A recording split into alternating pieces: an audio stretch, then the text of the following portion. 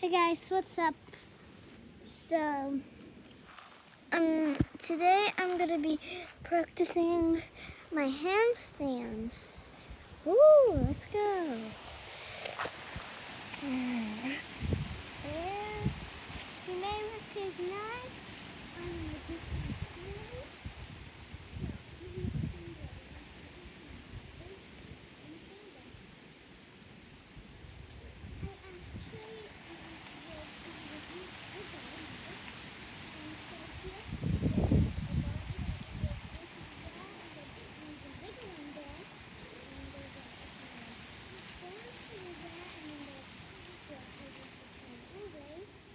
And then over there, there's some of my dogs. I'm not gonna be like it anyway. But that's the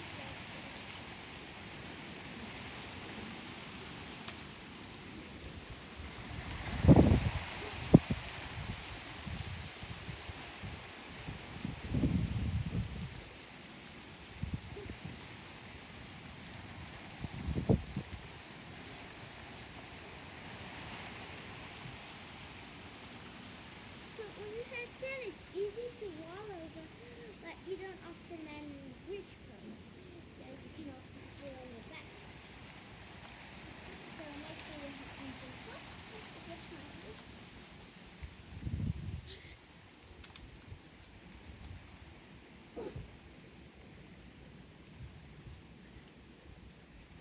Okay. So I'm seven years old. Was yesterday, and I may make a lot of videos today. For the next five days, I will make three videos. Because tomorrow, I'm going to a hotel. I have to do the packing, and then I have to go to, and then I'll be at the hotel for three days. So it means I return on Monday. And when I return on Monday, I won't be able to do another video because on Tuesday I have school. So yeah, I'm just going to watch a video. I used to watch video too.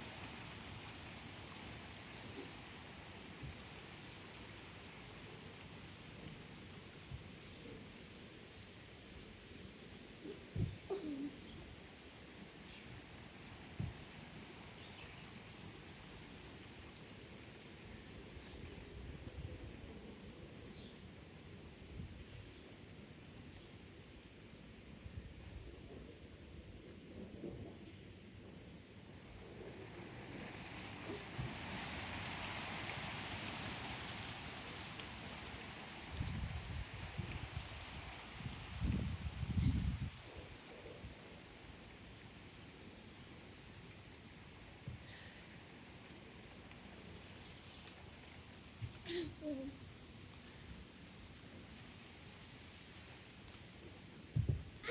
I don't know what was the.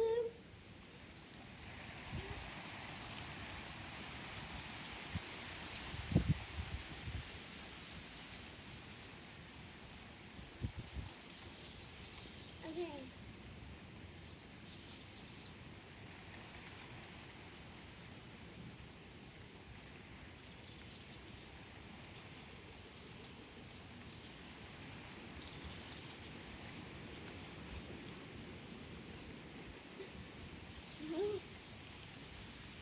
So that was uh, cartwheel back. I did it.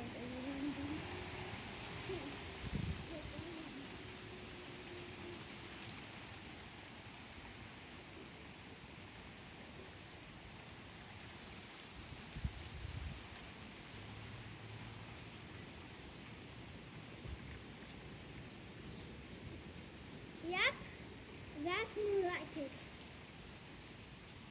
Okay. Next, I'm just gonna do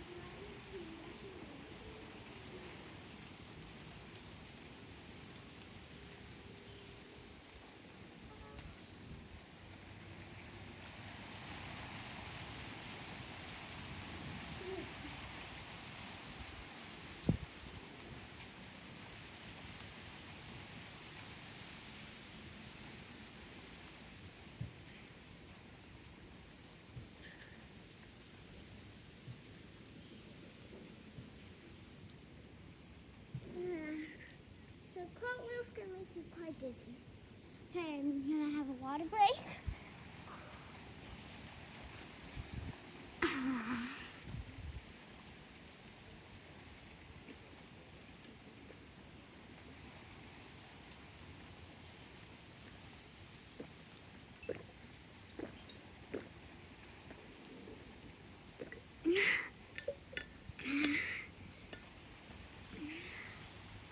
Okay. So a bit more training, then I'll be done. Because it's soon lunch.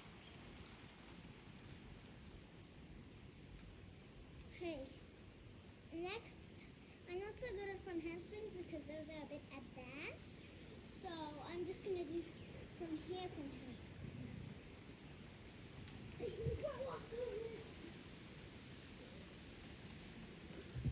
Whoa, I like that one.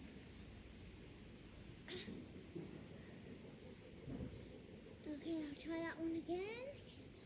Yeah.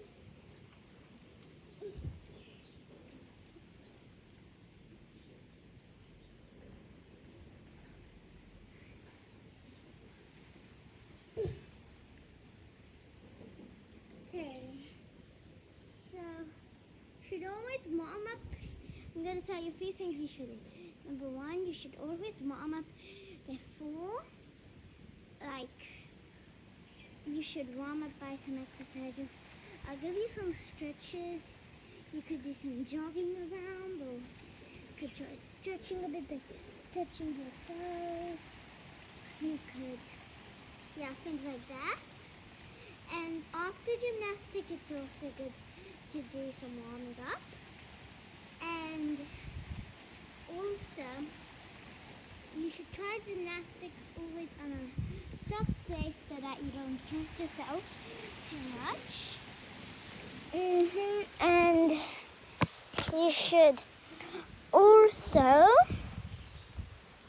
try not being don't force yourself too much but you can practice some videos like videos online how to learn like handsprings back walkovers and maybe cartwheels even. Okay. And backflips also. Well i i'm trying to learn the backflips. And I'm, I'm my dad said I can get a beam soon and I really want to get a beam so that I really love beam as my event I have a gymnastic class but um, since you may know this in COVID I'm not going gymnastics. So I really want to train on a beam.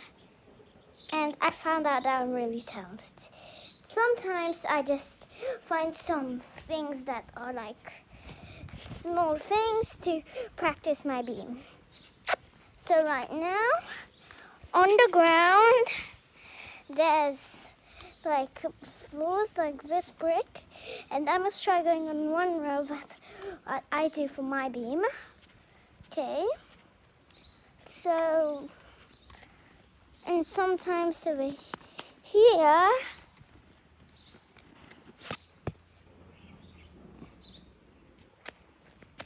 see that blue thing? Sometimes I, not sure if you saw it or not, sometimes I um practice my beam over there. And so now I'm going to practice a bit of bars.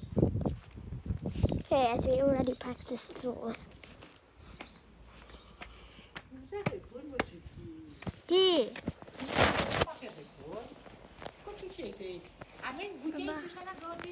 Done. Definitely.